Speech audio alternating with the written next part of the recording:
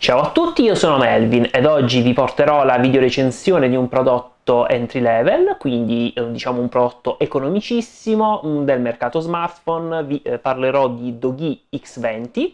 un prodotto che come potete vedere è piccolino, 5 pollici, costruzione mediamente buona, un prezzo di 68 euro, l'ha comprato Silvia per una questione puramente di convenienza, eh, ve la porto io perché comunque avete visto che Silvia si sta impegnando ovviamente su uh, diversi uh, videogiochi, eh, inoltre io vi dico comunque che anche su un'altra piattaforma di streaming molto nota, uh, giornalmente porta contenuti, seguitela perché ovviamente lei ci sta mettendo il suo. Uh, prima di tutto vi parlo della confezione di vendita che è uh, questa qui, uh, davvero di buon livello. All'interno troveremo oltre allo smartphone anche questa coverina in plastica rigida che va a ricordare quella che avevo provato su Honor 8 con incastro che eh, si va quindi a eh, diciamo agganciare sui diversi spigoli del eh, dispositivo, un po' di manualistica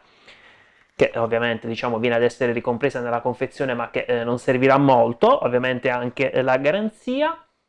Uh, abbiamo questo caricatore da parete 5V 1A che ricarica la batteria da 2580 mAh in poco più di due ore, con presa europea, il cavetto che è di tipo USB-A micro USB eh, che ovviamente diciamo è di buona fattura, niente di particolare da uh, dover segnalare.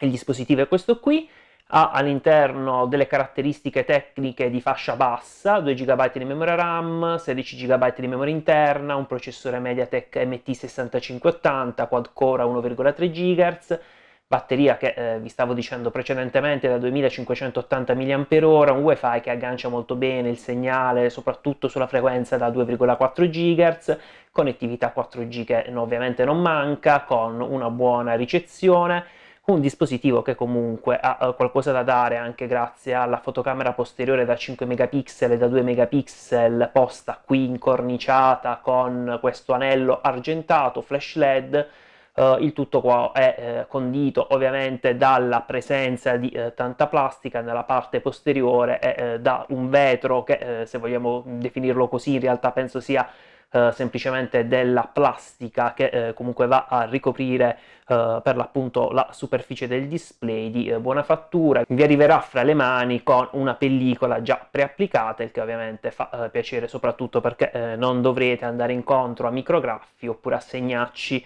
capsula auricolare, fotocamera anteriore da 5 megapixel con sensore di luminosità e di prossimità che funzionano anche abbastanza bene, luminosità dello schermo che mi ha convinto, lo schermo da 5 pollici, 1280x720 punti, tecnologia IPS LCD, soffre un po' gli angoli di visione e eh, il eh, nostro dito non sarà proprio a contatto con eh, il display, quindi non è un display eh, a laminazione completa. Infine il tasto per andare nella home che si può cliccare, al suo interno non è ricompreso nessun sensore per il riconoscimento dell'impronta digitale, ci sono due tasti che sono quello indietro e quello multitasking oppure menu che eh, non sono segnalati, eh, quindi non ci sarà una retroilluminazione, eh, ma che comunque funzionano e sono posti per l'appunto al di fuori del display. Display che eh, mi ha convinto, riesce a riprodurre abbastanza bene diversi colori, eh, su YouTube si può avere anche una bella esperienza, peccato che nella parte posteriore, qui in basso, venga ad essere installato l'altoparlante di sistema, quindi quello principale, la qualità è davvero molto bassa, i bassi non esistono, mm, c'è anche molto eco. Questo è un prodotto che mi stavo dimenticando di dirvi, è dual SIM dual standby. E possiamo andare ad installare le due SIM oppure la micro SD togliendo, quindi diciamo come si faceva un po' di tempo fa, direttamente la back cover, abbiamo per l'appunto due SIM ed una micro SD, vado a uh, rinfilare tutto quanto, dal punto di vista multimediale non c'è eh, molto da dire, ovviamente i risultati sono di eh, basso livello, mh, mm, sia durante il giorno sia eh, quindi con scatti notturni, eh, con le macro qualcosa si riesce a fare.